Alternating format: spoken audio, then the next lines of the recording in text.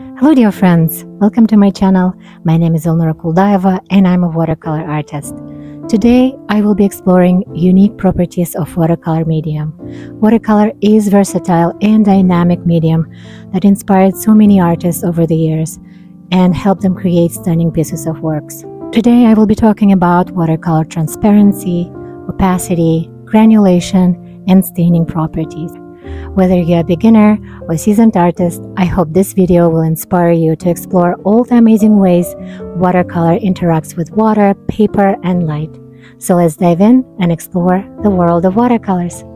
First, I will talk about watercolor transparency. Here I use 100% cotton cold press paper, size 22 flat brush, and three transparent primary colors.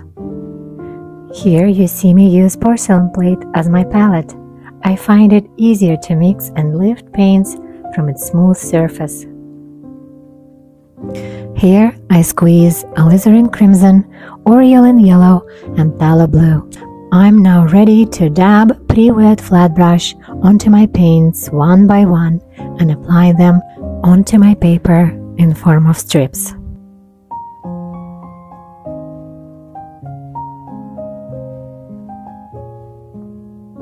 Once I finish applying the first layer, I made sure to dry the first layer with a hair dryer. Unlike other opaque mediums like oil or acrylic paint, watercolor is translucent, meaning that light can pass through paint layer and reflect off the paper surface below. When using watercolor, artists typically apply multiple layers of paint to build up the desired level of color and value. Let's move on to discussing watercolor opacity. Watercolor is primarily known for its transparency. However, it can also be made opaque through various methods. You can achieve opacity of watercolor by reducing the amount of water you use to dilute the pigment. There is a wide array of semi-opaque colors on the market. I find that in my paintings I only use a few, such as burnt umber, raw sienna, and French ultramarine. However, for this example, I chose three transparent colors, cobalt blue hue, permanent alizarin crimson, and aureolin yellow. My three semi-opaque colors are yellow ochre, vermilion hue, and lavender. To see the effect of opacity, I first layered transparent colors.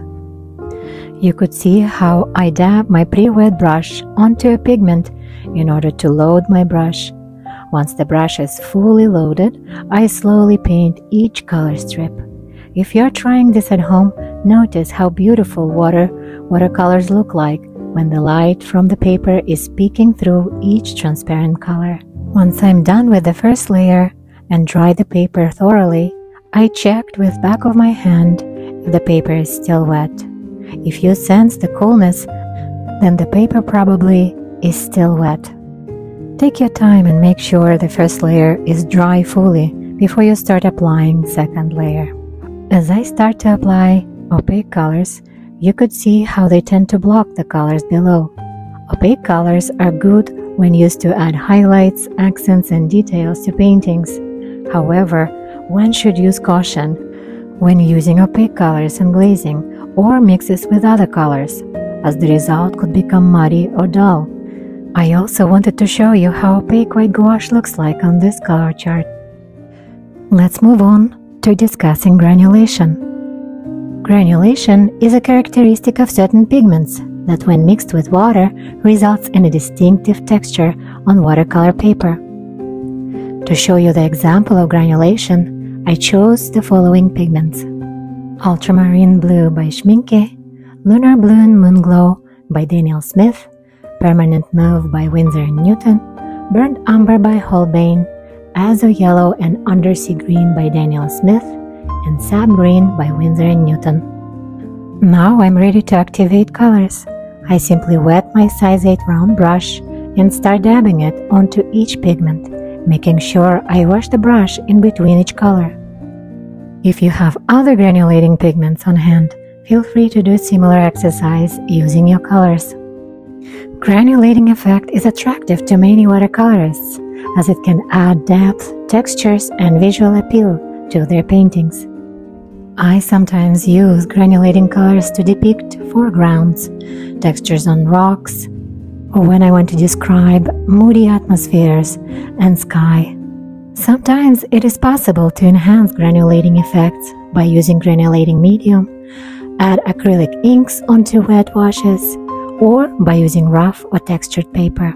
Here you see how I pre-wet the paper, then load my brush with the pigment, tilt my paper about 30 degrees angle and let my pigments flow down while gently pressing on my brush to squeeze all paint onto the paper.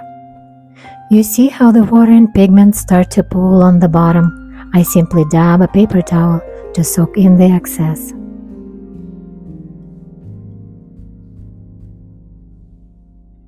In this example, I use wet on wet effect when paper surface is first wetted with water, then paint is applied, letting pigments blend together, creating unique watercolor effects. I hope you find this experiment inspiring and you try similar project at home. You may be surprised by visually captivating results. If you like this video, please give it a thumbs up, subscribe and share it with your friends who might be interested in learning watercolors. Now let's take a moment and observe how colors mingle together on the wet paper surface.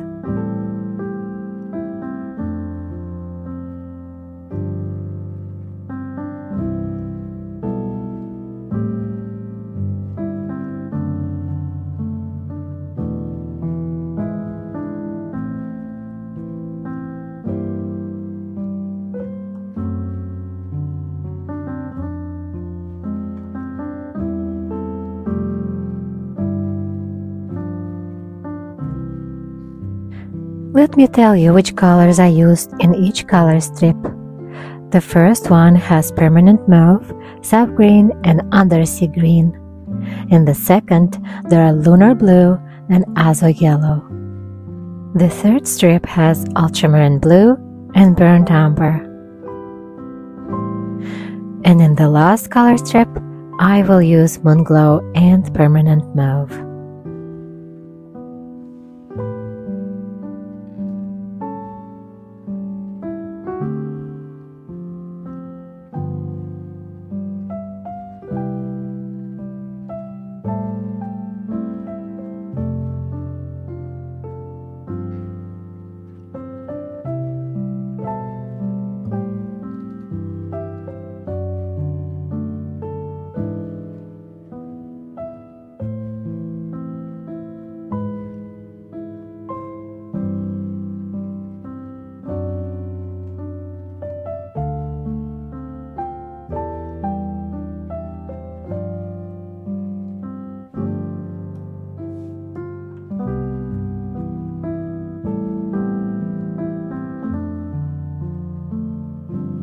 Let's move on to discussing another property of watercolors.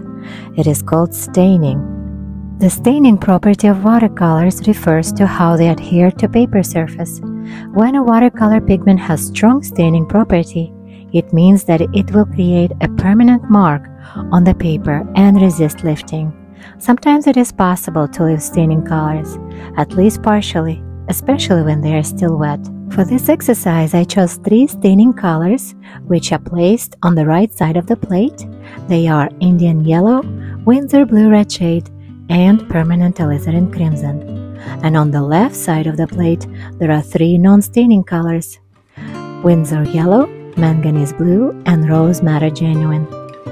In this example, I do not pre-wet the paper. I simply apply the loaded brush with the pigment onto the dry paper. This watercolor technique is also called wet on dry. In my works, I tend to use both staining and non-staining colors. Some artists use the staining property of watercolors to create different effects in their paintings.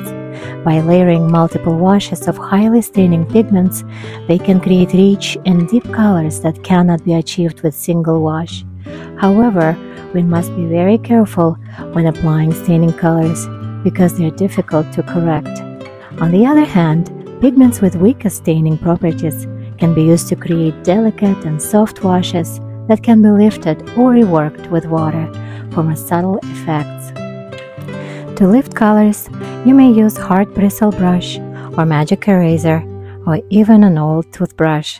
Try this exercise at home and see the difference between staining and non-staining colors. This concludes the lesson on watercolor properties. I really enjoyed talking about watercolors today and showing you the examples. Please subscribe to my channel for more tutorials like this.